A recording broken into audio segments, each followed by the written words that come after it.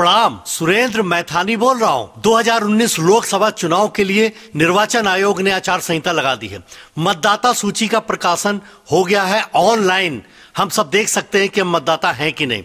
हम कैसी सरकार बनाना चाहते हैं? हम किसकी सरकार बनाना चाहते हैं? हम राष्ट्र निर्माण में अपनी कैसी भूमिका रखना चाहते हैं? हम भ्रष्टाचार मुक्त सरकार बनाना चाहते हैं? तो हमारे लिए सबसे पहले आवश्यक है कि हम मतदाता हों।